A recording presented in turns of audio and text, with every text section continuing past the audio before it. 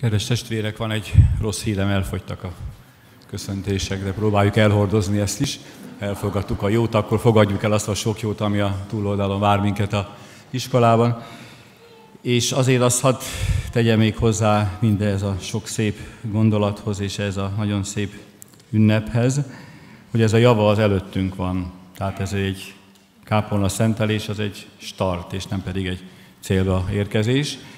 Jön a folytatás, csak fölvillantok néhány olyan lehetőséget, amivel remélem sokan fognak élni. Jövő vasárnap üzembe helyezzük a keresztelő kutat, nem is akárkinek a gyermekét fogjuk itt először megkeresztelni.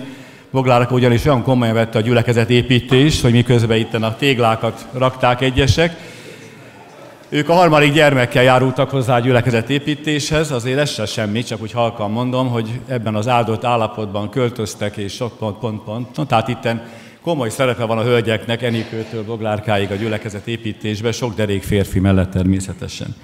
Úgyhogy jövő vasárnap, ha úgy tetszik, keresztelő követ szentelhetünk.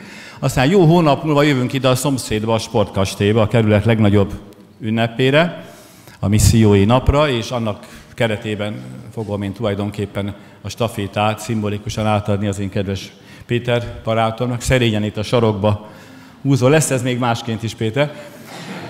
És én azt kívánom neked, hogy minél több ilyen ünnep adassék az életedbe. Nekem 15 évet kellett várni az első templom szentelésen, neked biztos, hogy hamarabb is megadatik ezt, hiszen egy, egy sorozatnak az első állomása itt a Pesti peremvidéken, ez a kápolna szentelés, ugye Budakeszin már elhelyezték az északi kerület felelősei a Budakeszi templom alapkövé. Soroksáron az operatőr nem csak forgat, hanem gyülekezetet is épít. Győri János Sámuel aktív nyugdíjasként építi a soroksári gyülekezetet és gyülekezeti központot, amit valószínű, hogy szintén egy éven belül felszentelhetünk.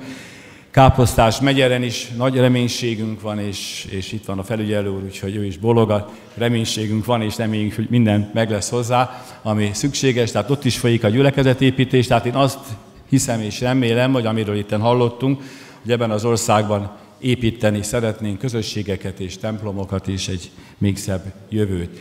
Ezzel a reménységgel kérjük most Isten áldását népünkre, nemzeti imánknak, a himnusznak az eléneklésével, és utána jó étvágyat az iskolában.